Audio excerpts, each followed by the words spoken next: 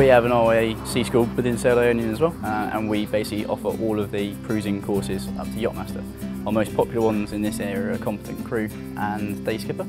Uh, we also do a lot of coastal skipper courses too. The Competent Crew is the, the most basic course, but probably the most important course to do. It teaches you the fundamental skills of how sails work, how the boat works, how to live on a boat. All of the skippers that we employ are, as a minimum, a commercially endorsed Yachtmaster offshore. So they've had years of sailing experience in a variety of different areas as well.